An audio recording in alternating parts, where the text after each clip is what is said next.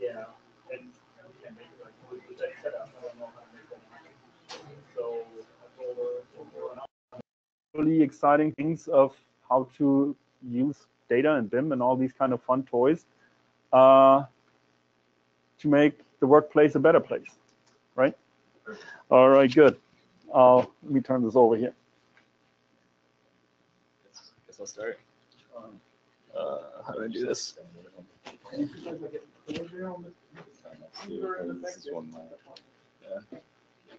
Uh, okay. So switch this. Uh, do do.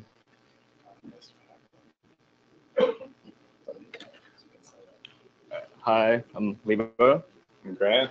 Uh, we're both on the BIM team at WeWork. Um, I'm gonna start this off, go through some sort of like, I guess, general big picture, why sort of our BIM context is a little bit different, why sort of you see us sort of use a little bit different tools, kind of approach things a little bit differently. And then uh, I'm gonna hand over to Grant, who will sort of go through a bunch of tools we built, and then there's sort of a Q&A at the end where we can demo some stuff, have a dialogue. Um. Uh, so just kind of an overview. Um, was founded in 2010, and uh, we're sort of now sitting at over 200,000 members with 230 buildings, 13.5 million square feet in 71 cities. Um, and as an outcome, as sort of like most of you know, we do a design build just because we have we do as much as we, I guess, feasibly can in-house. And kind of in a traditional model, um, there would be several different companies that are involved throughout this entire process. Um, and usually as a BIM, sort of your visibility and sort of your scope is within that.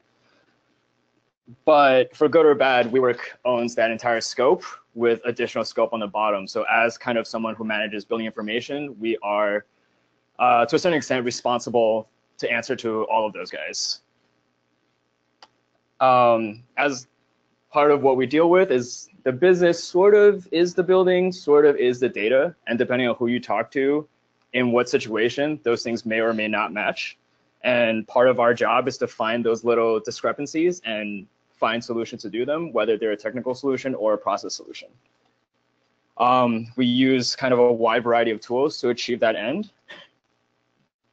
And kind of this is one of the main reasons I guess I came to WeWork is that as an architect, sort of I was taught to do things in a really shitty way, and it really sucked and wasted a lot of time. Um, but sort of as BIMs for WeWork, what we're able to do is sort of discover, have this culture of knowledge sharing, and kind of have this compound uh, return on our time investment. Um, WeWork likes to say that WeWork is a platform for creators to make a life, not just a living. For us, I think BIM at WeWork is a platform for explorers that make connections, not conveniences. Um, now I'm going to hand it over to Grant. Beautiful.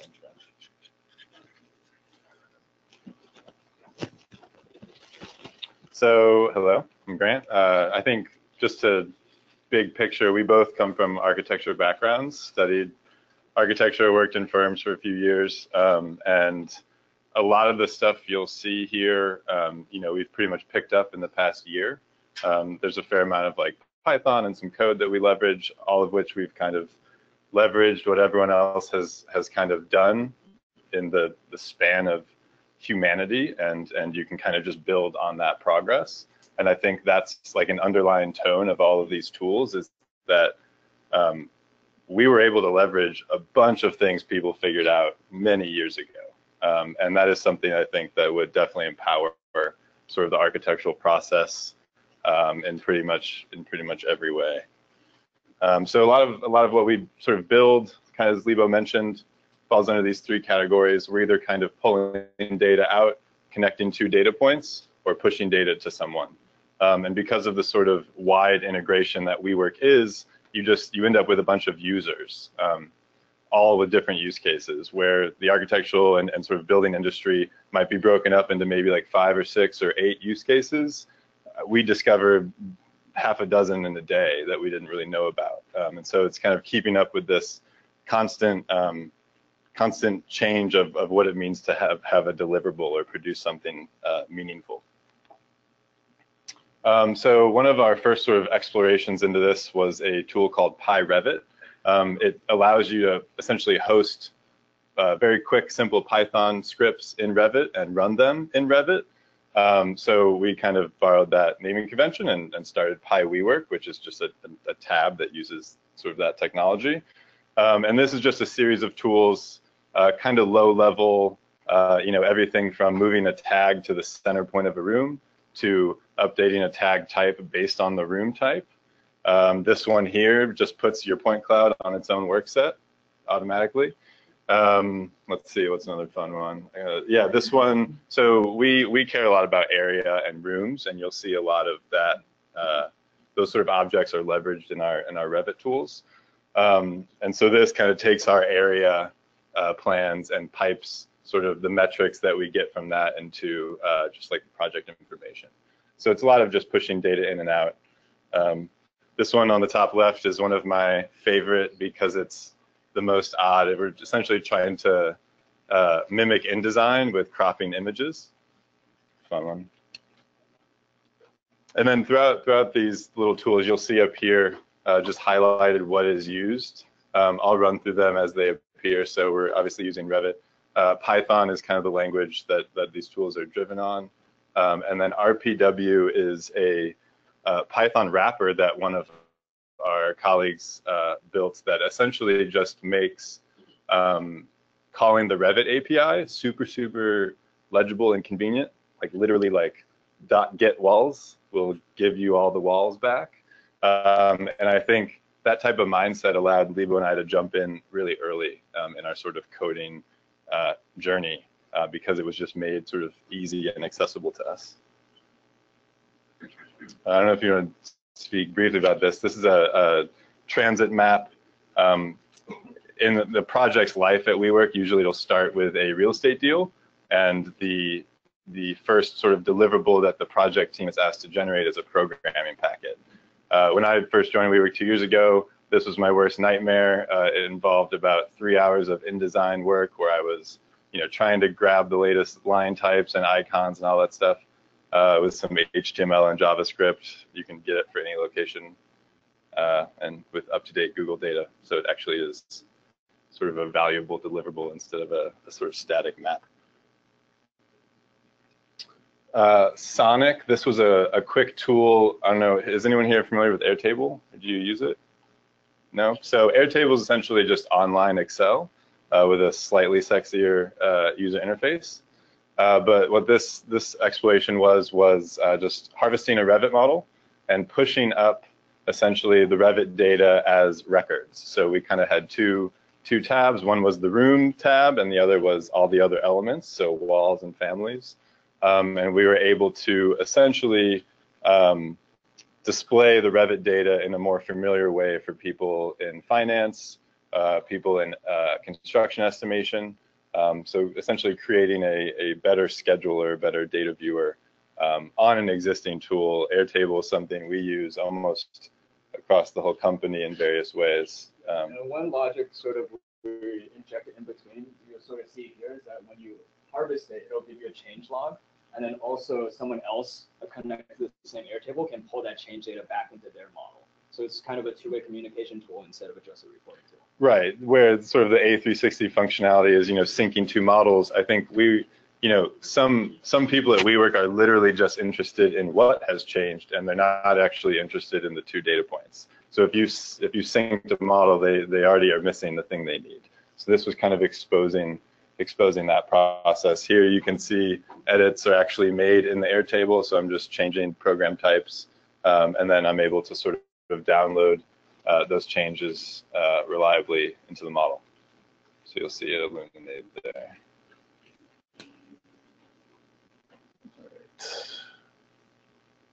Uh, the plan viewer, uh, this was a, a, two or three day, four day project.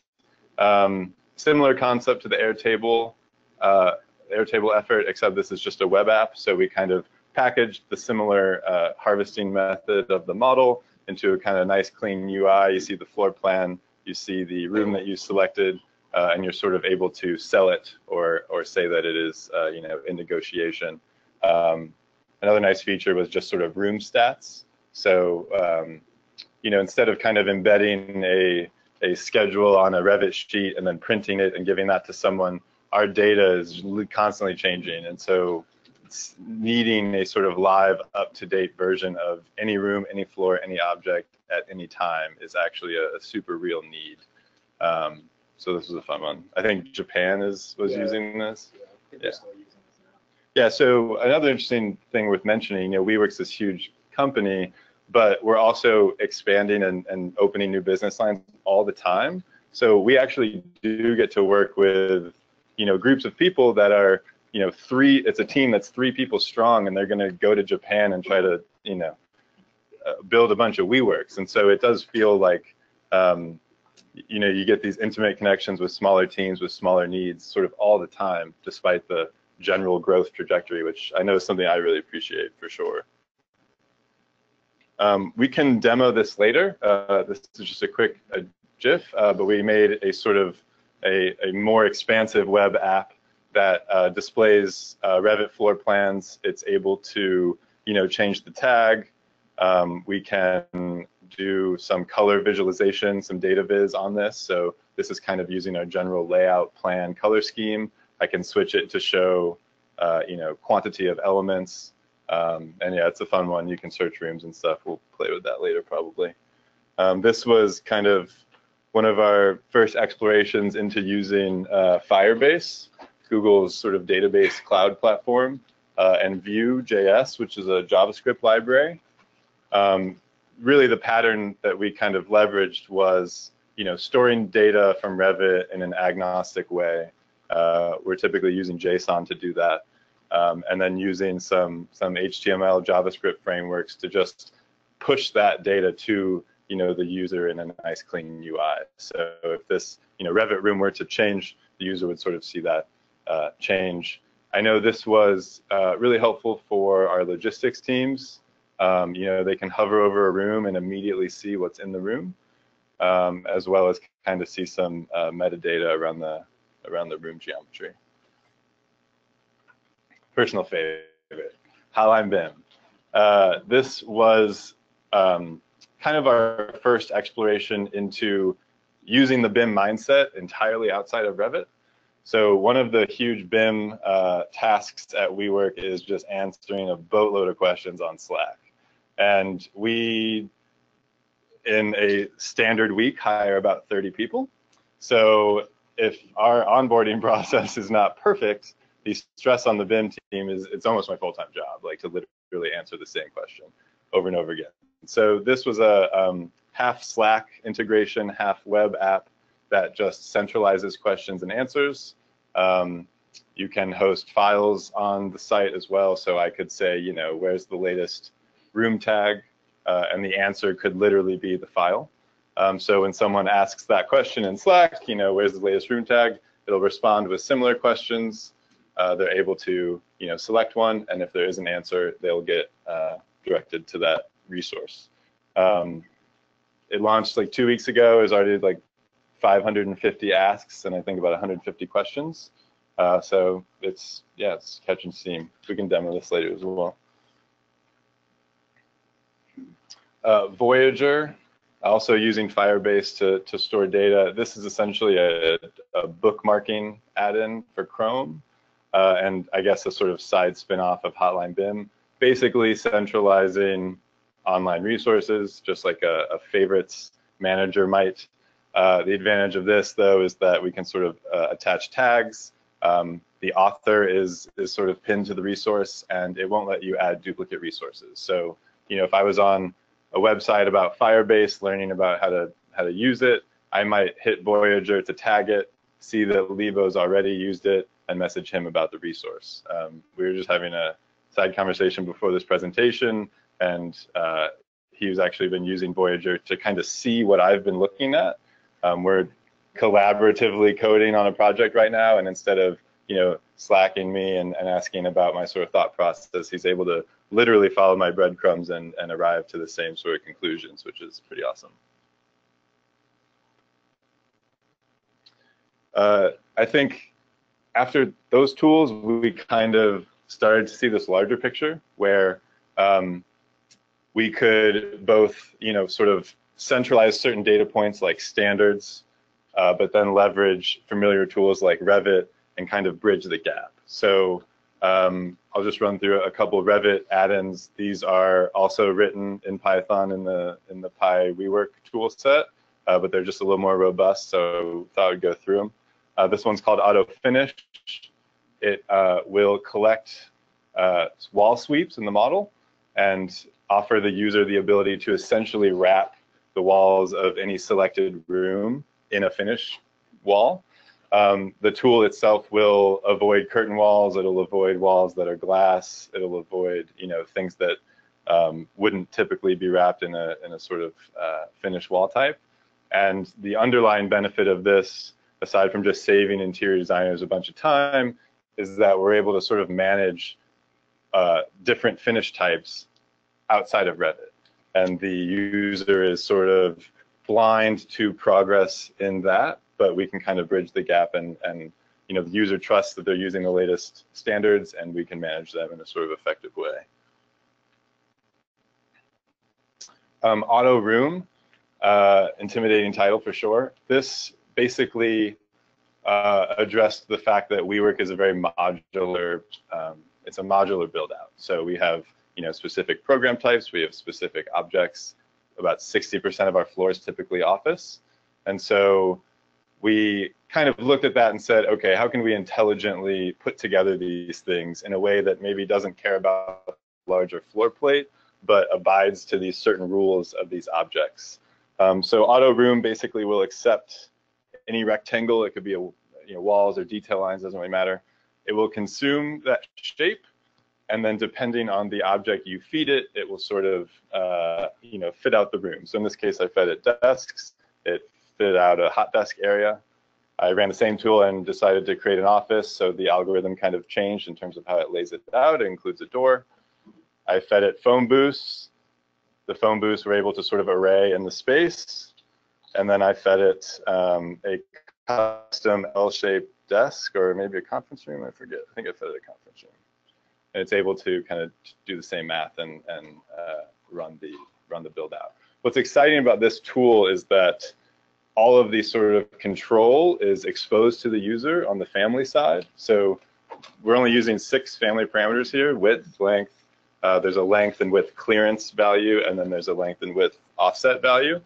And by changing those, you essentially change how the algorithm uh, distributes the objects. So this is a example of our uh, sort of enterprise team uh, making a custom L-shaped desk. Some client wanted wanted to fit that out in the room and then by changing uh, the value of the offset, you know, it, it will sort of push it out and array it in a more distributed way. Um, this allows the team to quickly report, hey, the space you're looking at can accommodate this amount of desks. If the client changes the desk type, we can get back an answer within seconds, uh, which is pretty cool. Uh, similar only for offices, so a little bit more robust control over how this thing will subdivide offices. Um, where auto room kind of assumes you're making one room, auto offices assumes you're trying to make as many offices as you feasibly can. Um, so this will subdivide um, a space based on um, some, some just number values. Um, and this is maybe a little less design driven. It's how we put together offices is 100% predefined. So it's really just about unit mix at this point. So it allows the user to sort of care about the things that truly matter, not putting a slider in the exact place that it goes every single time.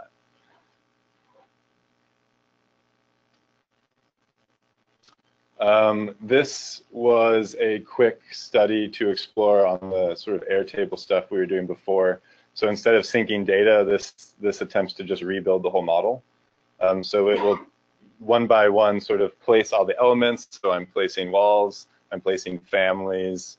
Um, if the family is not present in the model, it will hit our server and try to load it in. So it kind of takes this, this content management conversation a little bit farther. And then once it's placed geometry, it'll sort of place uh, rooms as well. Um, one thing that was kind of exciting about this, but not really explored, was just that because we are kind of flattening all the data, we can essentially harvest, you know, let's say a single Revit model has 10 links in it if we harvest that model up, I can bring down all the objects into one model and they're all editable. And that's because I'm sort of placing them fresh in, in one model environment. Um, so it, we, we typically will have two Revit models. We'll have an existing conditions model and we'll have a layout model.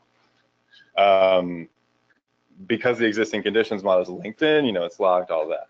Um, there are certain cases where I need to, you know, share a model or share a condition, but I don't want to kind of have to deal with, you know, sending the person six Revit files just to show them this room that happens to have a column in it uh, from the other model. So because this is sort of downloading this data fresh, some of this data is from the other links, it can it can sort of instantiate the full model into one uh, environment. How long does it take? This download uh, for a floor, it takes about 30 seconds. Yeah, So it takes the link, downloads the content, imports it, So it's, it's, li- as a live object into your main file. uh, it, it's a two-step process. We're sort of harvesting up, so the, the, the Revit model gets sort of converted into just, you know, like an Excel sheet, just line items of data. And then on the download, you're sort of specifying what elements you'd like to bring in. Um, so if I just brought in rooms, you know, I'd get a boatload of errors that there's a bunch of rooms. Um, content viewer, this is sort of a current exploration of ours. We are just kind of playing with ways to define objects in general, uh, just outside of a family file. Um, so this is a quick demo. It's doing a lot in the background, but it's essentially taking a RFA file, uh, exporting it as an FBX. It opens a UI-less version of Blender, exports or imports the FBX, exports the model as JSON, and then uh, hosts it on the web. And part of the reason we're kind of doing these acrobatics is that, um, you know, most of our users don't even know what Revit is. Um, so we have to find ways to sort of expose them to BIM data without mentioning Revit or even sending them, uh, you know, the Revit installer. Um, and so this was kind of a, a recent uh, a win that we kind of uh, were able to pull off. So we're excited about this one for sure. I don't know if you want to Brent there. Okay. So yeah, four sort of main points um, at scale. Small integrations actually have a massive impact, uh, and that's I know something Libo and I very much appreciate about WeWork. Pretty much everything, every improvement you think of making, you know, has potential global impact tomorrow, um, and that's been a really fun, a fun uh, sort of metric for our projects.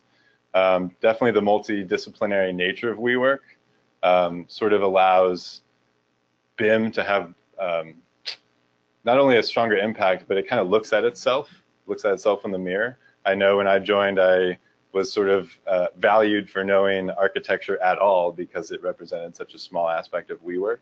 Uh, but now the sort of ask has been to push BIM uh, logic and sort of mindset onto everyone that we interface with um, so that we're all kind of speaking the same language. Uh, kind of speaks to, to three. Um, and then in general, just a culture of sharing and building upon work. Um, I think we're doing this internally, but also just learning how to code a little bit and kind of getting more into this culture of, um, you know, collaborative tool building. The groundwork is already laid for us. I mean, it took very little time to build our first tool just because the framework was there. I mean, it was like four lines of code. Um, so that was definitely an, an underlying underlying success of this for sure. So yeah, general question answer. We'll happy to demo anything further. Um, yeah, that's what we got. I have a question. Yeah. So when you're building these models for the US, for Japan, Mhm. and you have these predefined specifications in, do your tools have the specs for each particular region? So when somebody in Japan is using them, they're seeing the dimensions that are appropriate legal to Tokyo versus. Amazing question. Yeah, we're so we're sort of dealing with that now. Um, we recently Would have. mind, uh, repeating the question? So- Yeah, so, oh, good call. So, um, question was just about regionalization and the fact that sort of multiple versions of multiple standards have to be maintained at the same time. Um, this is a problem we're kind of just experiencing now as, as sort of regionalization becomes more real. Um, the quick answer is yes. The long answer is we're sort of revamping the tools to, to work that way. Um, a recent example is um, a project called Genome that um, basically allows a real estate deal to immediately be piped into a sort of programming calculator. Um, and part of that is obviously knowing where the building is coming from. And so it will, um, you know, attach itself to the location and change standards based on based on that. Um, another kind of thing we're going into now is, you know, when you start a Revit project, having regional templates that not only are sort of, you know, you change the unit, but you also have regional content that gets injected or regional uh, whatever settings that um, need to be applied to the model before, you know, user starts. One more question. Yeah. So within that, this is all after you've bought a property and you're allocating it for potential use. But with WeWorks looking at properties to buy, hmm are you presently or do you foresee using tools like this to say, okay, this looks like a good investment, but what can we actually do with the structure in Right. Geneva, Right. for example? and, Um, Based on I- their regional requirements. Right. Right. I mean, that was actually when I joined the company, that was one of the first sort of like things I was interested in just on my own and never got actually the chance to sort of hop into the real estate side of the business and, and catch it before it gets to me, so to speak. Um, I know there's been sort of smaller explorations. I don't know if you know of anything around that. Um, I mean, in terms of like test fitting, we actually go pretty far um, before we even sign anything on a building. Um, but I think a lot of the work of like Genome is sort of uh, matching that prediction to the amount of human labor it takes to get to that point of certainty. So Yeah. kind of like if we can get there through kind of some sort of algorithm without having someone to sit there for hours laying it out, then we can sort of meet them in the middle and sort of save a lot of time and let that person use that time for something way more productive.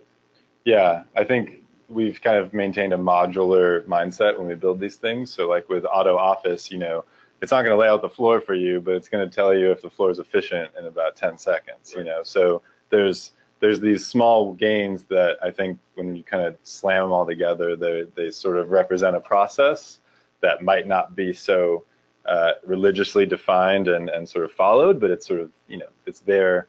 Uh, if, if you're curious enough, you can kind of find out about it. You have a question? Well, it's sort of related Okay. the initial programming of the space, how, how, how you can efficiently figure out Yeah, what the maximum potential is of the space before. yeah, there's definitely a bunch. Oh yeah, uh, just the the sort of chemical makeup of a floor. How do we program, uh, you know, an empty empty floor, empty building? Um, there's a bunch of room to grow in that area for sure. I think that's something that we definitely have our sights on this year to improve. Um, you know, we've had smaller teams try to figure out the floor problem. So like, you know, all right, I'm going to define my circulation first. It has to hit the egress. Uh, all the all the spaces on the perimeter are going to be offices. You know, so you can get maybe 50% there with just those assumptions. We take really crazy buildings. so like, you know, the, the rectangle, the rectangle logic just doesn't apply to half of what we work with. Um, and so, yeah, kind of taking a step back and, and trying to analyze just our smaller programs first, I know has been fruitful, but uh, yeah, we're looking to pipe a, a CAD file or whatever through some system and understand, you know, should we take this building or not? And we're definitely, layer of complexity sort of that we're dealing with is like if WeWork is a standard sort of static product, it'd be a lot easier because we're dealing with the same standards every time. But not only we is WeWork kind of a shipping standard, but all the other business lines are also constantly shifting, and we're trying to cram them all into one building. So you can imagine like, you know, some business lines are just starting off, some business lines are more mature. Sort of doing that calculation through an entire building is kind of a huge ask and we're just kind of like scratching the surface of kind of what kind of these sort of like multi-business line calculations would be like. yeah. Yeah, we've we've gone very far away from handing someone a super clean schedule and saying like, here's what's in the building, because it's not going to work. By the time you hand them the schedule, what they're expecting to see is different. And so what we've tried to sort of do is um, give people live views into the data stream just so that they can say, um, you know, hey, this looks weird or this looks good instead of kind of getting this really clean, you know, PDF that like looks clean, but you're not sure if the data that you're seeing is, is right. Yeah. So, um, sorry. No, um, you can. Um, you showed an example of where you the JSON into a live data for people. Oh, yeah. um, well, how, so how's that being, being used? So I worked on this basically this week, so it's not. Um, but uh, oh yeah, we'll oh, the the JSON thing, but we'll show this too. Um, just go to the PowerPoint, I think. Yeah, it should be that guy. Yeah, the 3D one. Yeah, that one. Yeah. So yeah, uh, it hasn't been really used yet. I think the idea here is that, um, you know, kind of like I mentioned, most of our, our users with this data don't know about Revit, and uh, everyone knows about the web. So we've kind of been looking to, um, you know, whether it's going to turn into sort of an app where um, you can sort of, you know, move in a piece of furniture when you arrive on site and check that what arrived is what was in the model. Like that could be a use case for this. Um, I know we're interested in just sort of um, democratizing content creation and allowing content to come from any platform. So if I want to build something in Grasshopper, he should be able to go into Revit and you should be able to do it in SketchUp. And we just can keep both all contribute the same thing and everyone pull down the same thing. Um, Actually, for this, like one of the major points, like was a few months ago, like the front end team uh, from Singapore, they sort of expressed the need to uh, pull content so they can display three floor plans. And those guys like don't use Revit, they don't know anything about BIM. So like this, at least for us, will start creating kind of this library online where they can hit the API, find a chair, and sort of have all this sourcing metadata and all that stuff with it. Yeah. So they can build more robust tools on their side, but have it come from a source of truth.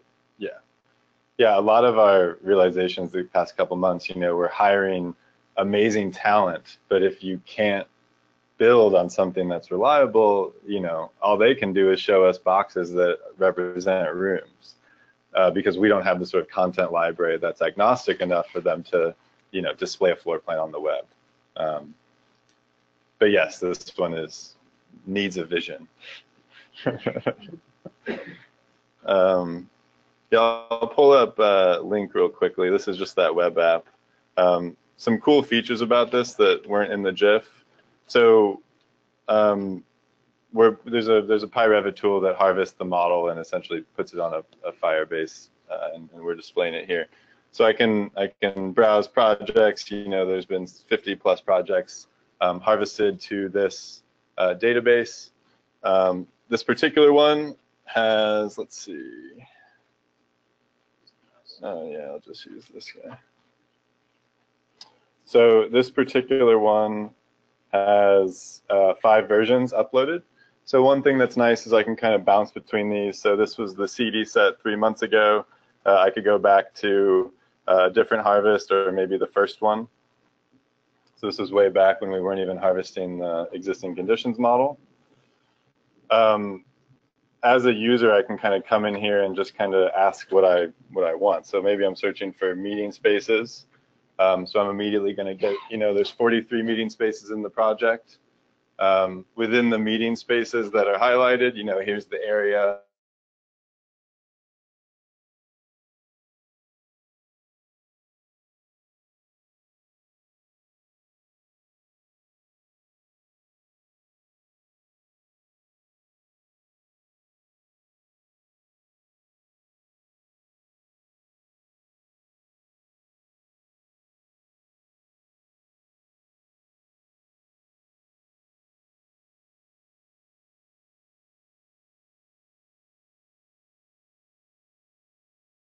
Uh, with rooms, we're also harvesting objects. So I can just turn on this little toggle and get a representation of sort of where everything is. Um, and this is searchable as well. What are the drops?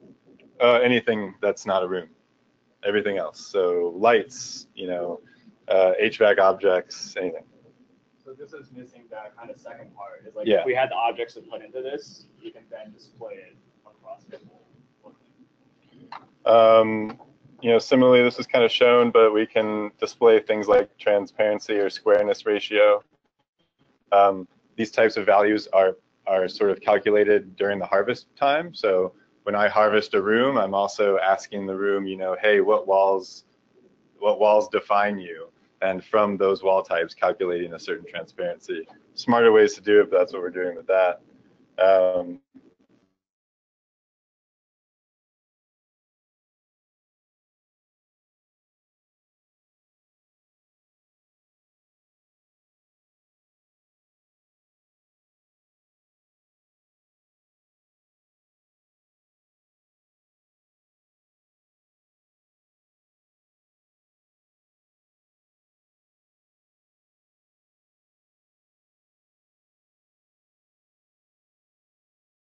the, most frequent thing being at the top.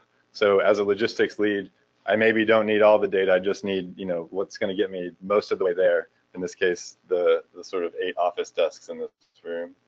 Um, among the five versions, I can click any two and sort of see a change plan. So the rooms in green have been added. Uh, the darker red rooms have more changes to them.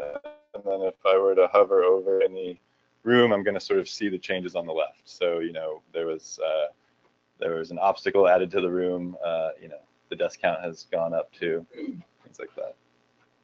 And cycle through the changes of the different versions. Can you talk a little bit about your supply chain management, getting, going from models to stuff built in place? Yeah, we need help. uh, questions about supply chain uh, management in general. Um, usually, our sort of uh, we have procurement, we have supply chain, we have you know logistics and operations leads that kind of manage this on the ground.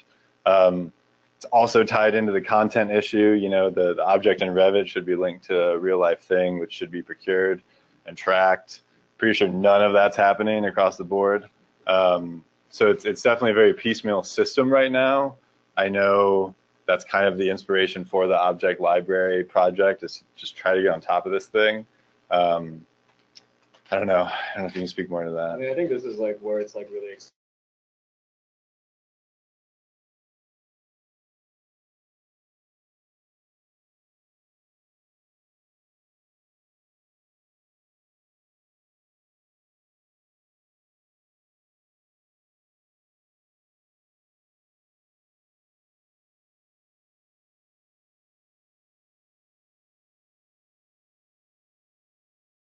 trying to sign these two things together, and we can only trust maybe like I don't know, fifty percent, sixty percent of it.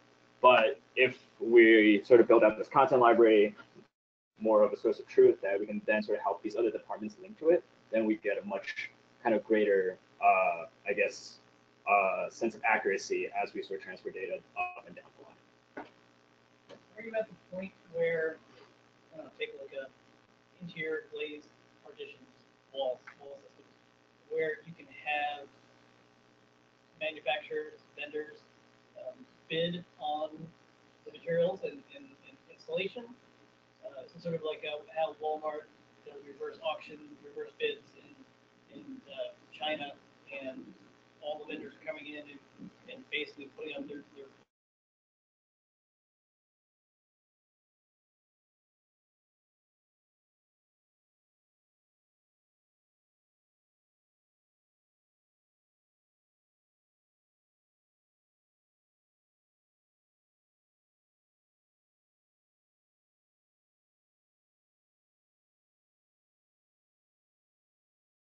colleagues uh, sort of build uh, this whole automation that generates um, all the storefront for you, does the cut sheets, and that gets sent directly to our manufacturer. Not, I guess, so far as like uh, doing open bid, but in terms of the data model, it's um, basically straight to layout once we finish. So at that point, they're, they're supplying you with quantity, um, prices, but, uh, not going as far as, uh, I mean, what will vendors get on it? What, what, one vendor give you a price? Uh, currently, I believe so. Um, it might be different uh, regionally, but I think because the company's so large and we're not exactly sort of sure exactly what's going on in that area. Yeah, we're yeah we're sort of very confident in like the material takeoffs we can give, but the the sort of process after that, you know, there's there's so much in the sort of deal with with uh, someone sort of coming on board for something of this scale that it, it gets super lost. The designs and build outs are for tenants that you have? So Or- yes, sometimes, so a typical WeWork, which I believe is what this one was, um, you know, we kind of uh, do some market analysis, have a general understanding of a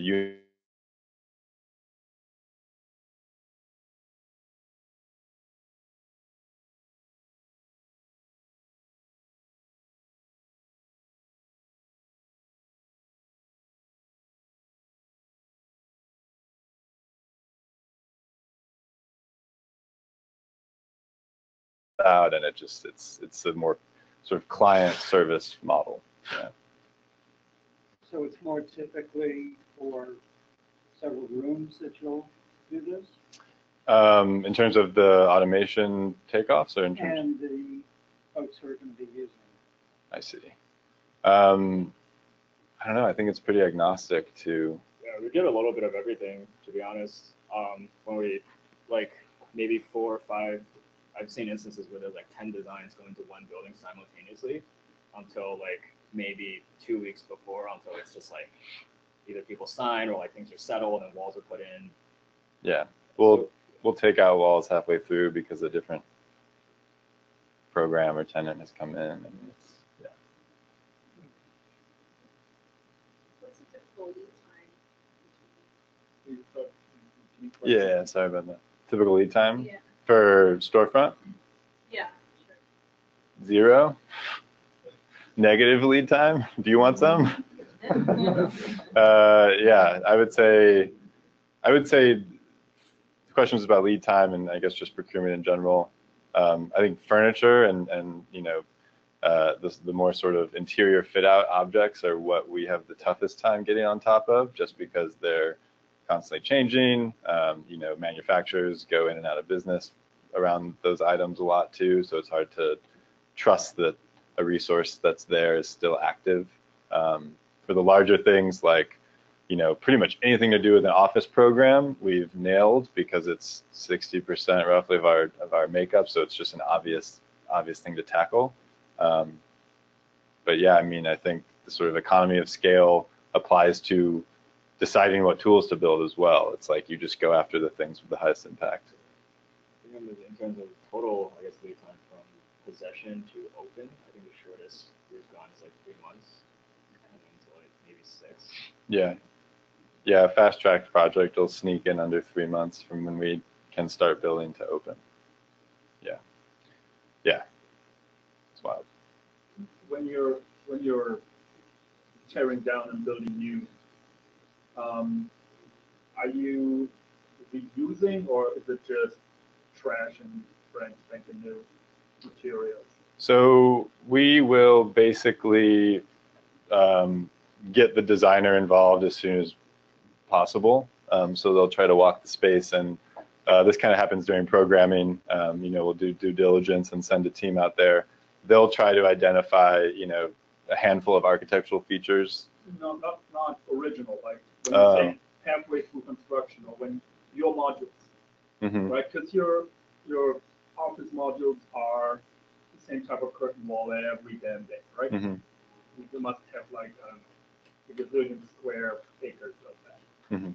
Um, when you're tearing out the floor and building a floor across the, across town, um, are you reusing anything of your own trash that you're creating? I don't know. Honestly, I have no idea. Yeah, I I mean, I would almost, I would almost say we're not tearing out yet. Well, I mean, it depends on like what. You're adapting the floor, right? Correct. Yeah. Yeah. That's part of what you do. Right. It depends on how much change there is. Um, sometimes when we're combining two offices, if there's enough adjacency, we'll maybe say like knock out the knee walls and then keep uh, the frame and just maybe take out some pieces. Well, maybe we'll just take out the middle so people can still sit face to face, have that open communication. Um, so it kind of just depends. Uh, part of this is also kind of a shipping product. Like before, sort of WeWork in terms of sales was more unitized. It's kind of like you just have a six person, you sell it. But now with enterprise and larger offices, it's more of a negotiation. So it's like, hey, can I combine three of these offices, can I take this whole quarter of the floor? So kind of, it's much more case by case basis how we deploy and strategize the changes. Yeah, we have an upgrades team that is tasked with that whole question. And they're about three people strong. Um, but yeah, I mean, it is definitely something from from our sort of architectural mindset. You know, everything from like suction cup walls, you know, is even sort of in the in the realm of possibility with with the type of um, just speed of change that we deal with. I mean, you almost don't want to glue anything together. It's crazy.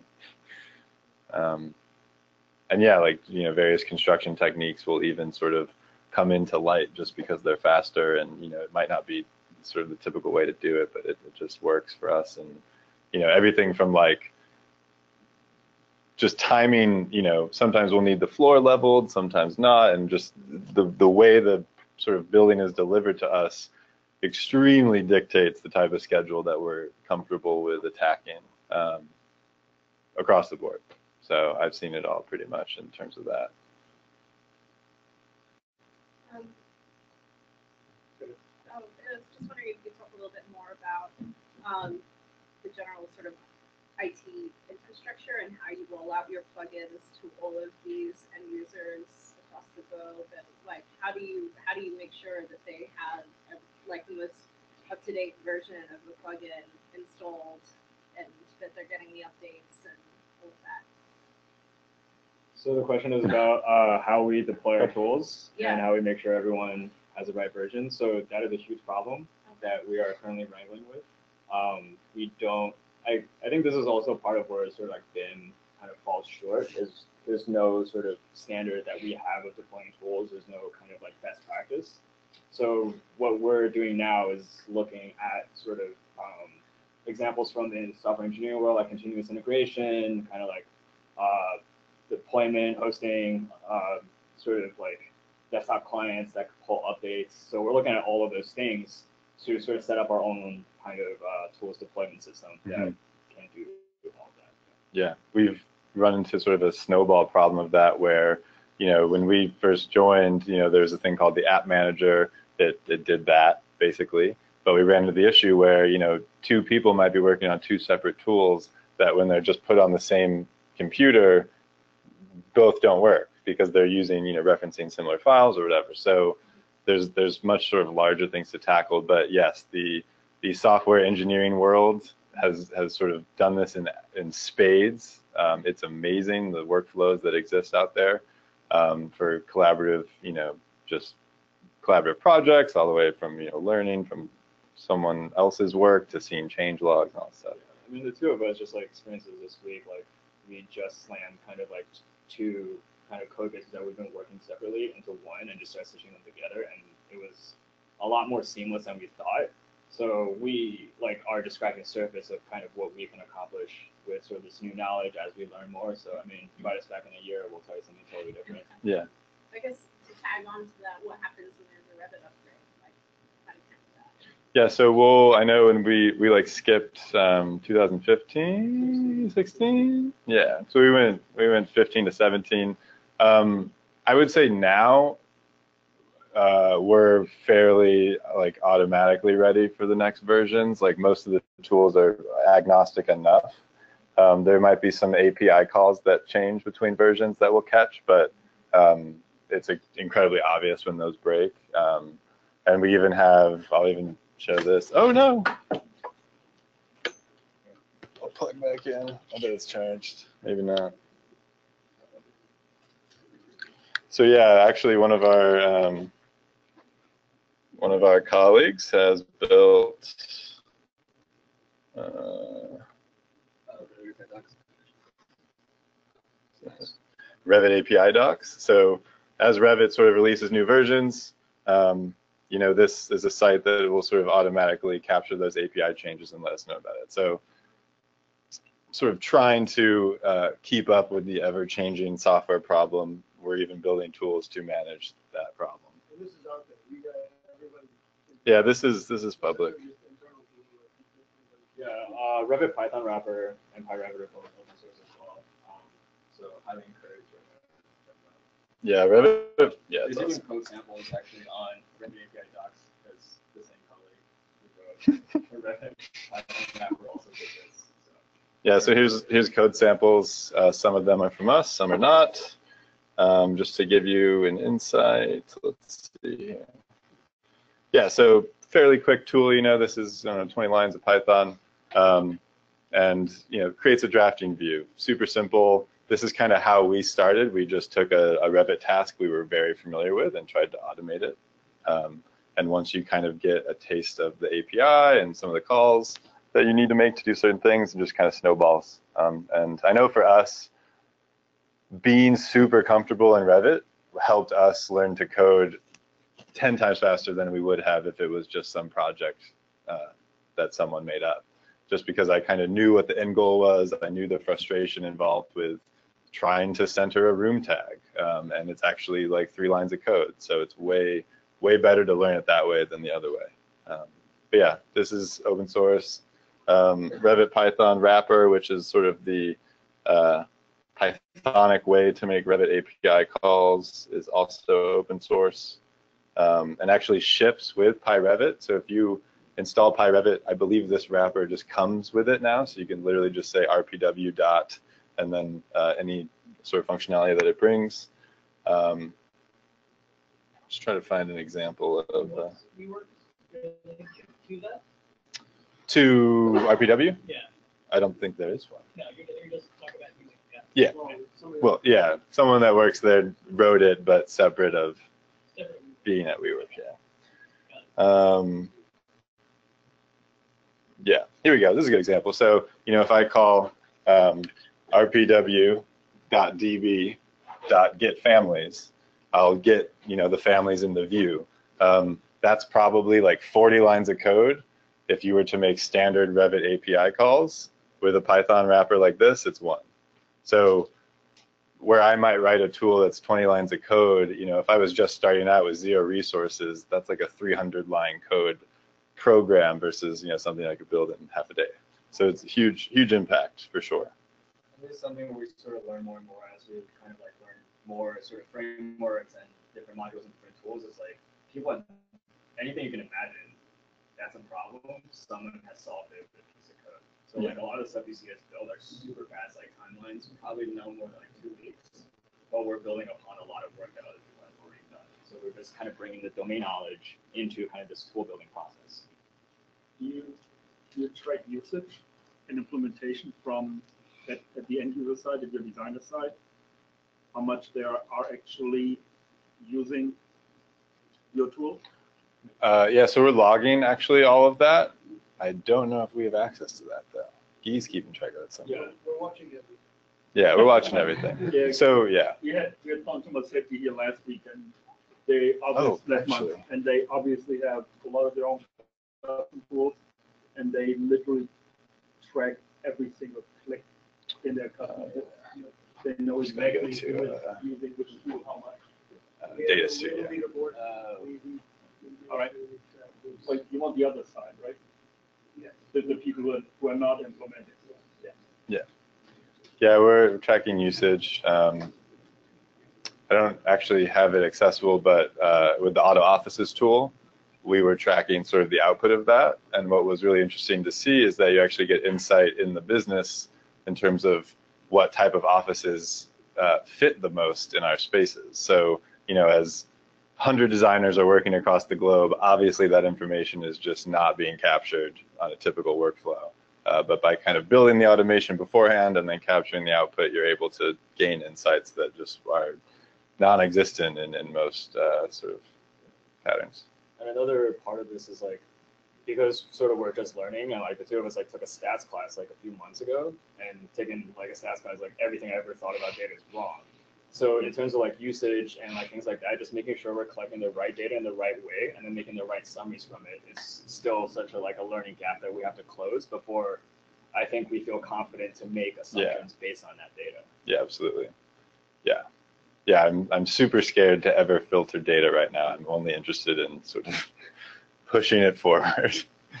How are you keeping all of your Revit users up to date? training and all of these tools? I mean, you're cranking out a lot. Yeah, uh, it's a challenge. Yeah, so just the question on kind of training, um, exposure to what we build and how it's used. Um, let's see. I guess, to talk about how many more BIMs we have in the company than the average company. Yeah. Like, Tyson, how many BIMs are we at now? Yeah, so we have like 50 bins like worldwide. Um, there's sort of regional training, and then there's like hotline BIM that's sort of more centralized. You can ask questions on a platform, but there's like small pieces of training happening everywhere. the, the role of, of, you know, somebody on the BIM team at WeWork is a little bit different than maybe a traditional firm where it's not in the models clicking, doing production of work. It's more support for the teams and the other disciplines in the group. Now, they're not just getting a napkin sketch from some architect in a corner. Uh, their, their focus is innovating and supporting and training to give the other people on the team the knowledge they need to actually produce the work. You know, push push the scope of work of an architect back onto the architect and have them own it all the way through rather than get sketched on trade paper and fix it. So training is huge. We have this internal connect page that essentially breaks down everything you need to do step by step gives you links to data sets, videos, um, curated tutorials, whoever it might be, uh, to make sure that everybody's on the same Yeah, I think like a huge thing for us in that regard is like we there's it's not physically possible to make a PDF that's going to answer someone's question in two weeks, just not.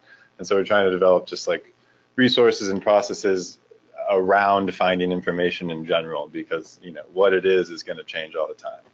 Um, so you know Hotline BIM, uh, the Connect page, the sort of democratized wiki, uh, you know, our, are in place solutions, but uh, yeah, you're always going to get someone asking, you know, how do I install the printer? And then we just say, ask hotline how to install the printer. Uh, sweet baby Jesus. Yeah. Yeah, so really like just annoying tasks. I don't know if you guys saw this one as a, uh, I guess, former uh, architecture person, equal, equal, equal on the Revit DIMS, made me want to kill myself. And this is just, you know, a button away from kind of uh, automating spatial layout on a really micro scale of, of stools in this case. Um, let's see, tagging rooms. Making views, actually, this one's cool. You select rooms and it'll just make plans for you. Zoomed in plans. And put them on sheets if you want, which is nice. Yo, yeah, copy paste viewport. Copy viewport on one sheet, apply to all sheets. Pretty awesome. But yeah, we have a couple different resources for for knowledge sharing, but it's it's pretty crazy.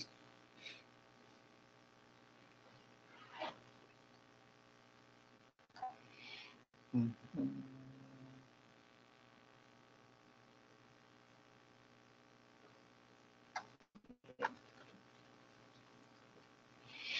Cool. Yeah. How do you control type of boundaries or content that designers use? Like if someone uses their own item or they else? Cool. own.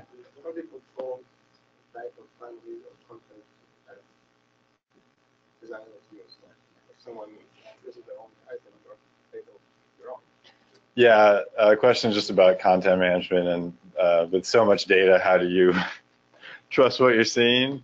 Um, so our attitude about this has changed dramatically in the last two years, but when we joined, the philosophy was, you know, we crank out WeWorks, it's super modular, let's just data validate everything before you press save even. So if I did something wrong, um, or you know against standards i couldn't i couldn't like push that work to the next stage. So that was the philosophy. I'll always catch it you know i'll, I'll compare it to a library. If it's on a library it's not going then we got really ambitious on different business lines and different you know just ideas um, and keeping up with sort of how the business was evolving with that perspective murdered us like we could not keep up with anything And so our philosophy now is to kind of let the bad data happen. Um, it's probably going to brute force happen even if you put controls around it.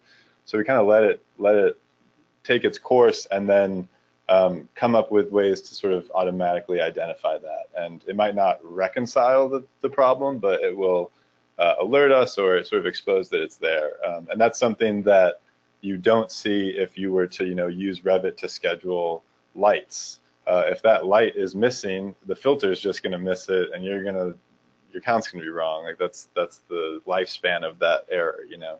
Where we kind of want that error to go all the way to the the end and have someone catch it. So, but yeah, it's a it's it's our biggest problem is is just trusting the numbers you're seeing, basically. Yeah, does this model also have the manufacturer details and all the warranty details that you can leverage with the next phase?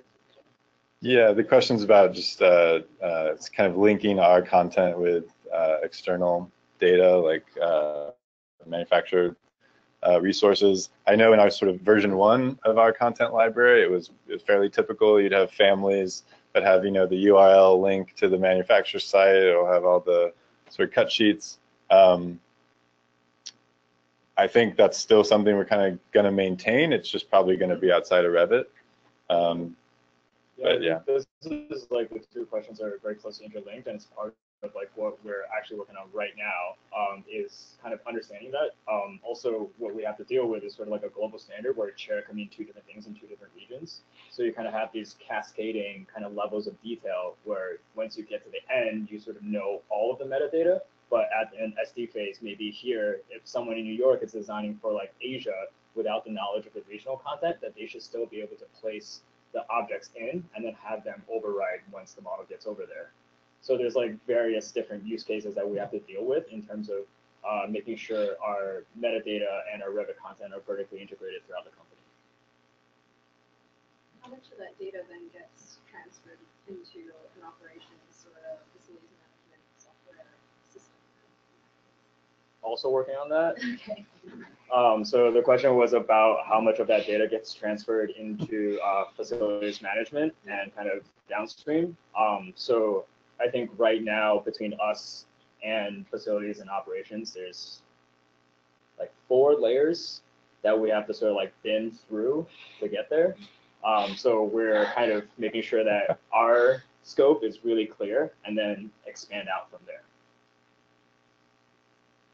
desk count makes it, the desk count parameter makes it all the way through. That's about it. Maybe the area. Maybe. But yeah, small things, right? Like uh, the product team needs to know if a room is sold when they're about to go into the Revit model and delete it or change it for some reason. And like the, these types of two-way, it's not even just getting the data to these systems, but actually getting their data back and informing the decisions we're making in like Revit, you know, uh, the turnaround time is like, it needs to be seconds um, because we'll, you know, email change with 50 messages just because they sold something that we then deleted in some digital model. And like, that can't happen if you want to sort of provide a, a good client facing service. You know, we're constantly kind of trying to avoid pulling the rug out from people, even though we're pulling it out of our own feet. Like it's, it's tough. We'd like to, I guess, say that we can do all of that, but it is an enormously complex problem, and sort of we are hacking at it piece by piece, and that sort of goes back to kind of these small integrations and how they have this network effect at scale. Um, kind of our philosophy is that if we build these small connections and small integrations, that eventually we'll get to a network effect where you could say get something from Yeah. sourcing that goes all the way down to facilities. Um, During construction, how often do you guys, um, go to the, uh, from the field, like, whenever the field inspector will report? How often do you take that data and update the model to track the problem? Um, Yeah. questions about uh, just uh, taking the data on site and getting it kind of into our process. We laser scan everything. Um, uh, if you know a building's coming online, we're going to send a team out there to scan it. I used to not even build EC models before I had a point cloud scan, so if you were to do that, the the sort of BIM lead or architect would reconcile the scan with the EC model and make sure those match. Um, and then I think yeah, we're we're, we're exploring kind of uh, you know serial scanning. So like every every week or every two weeks, uh, either it's like a photo walkthrough or an actual point cloud scan. Um, and we're we've got our sights set on sort of you know running the diff between what's on the construction side and what's in our understanding of the model. Um, and there's a bunch of bunch of uh, cool technology out there, you know, placing cameras in rooms and able to sort of you know tell when an object leaves the space or not. All things that we're like super super interested in. Um, but for us, the sort of existing conditions, capturing the site data, and making sure the desk count that I'm promising is feasible is like the whole name of the game um, you know, the more confident we are with that, the earlier, the more, you know, everything else just kind of falls into place. So. Yeah, we're trying to like make BIM like a really good role player because there are a ton of people who are like super smart in the company that don't know anything about BIM, that don't really care about buildings. But when the guy working on the sensor needs to know where on the floor plate that sensor is, like we need to provide something where it's sort of location based, they can see it instead of just a number they're attaching something to and having to find on the floor. Yeah. All right. Yeah. Here. Cheers. All Thanks, right. guys. Thank you guys. Thank you guys.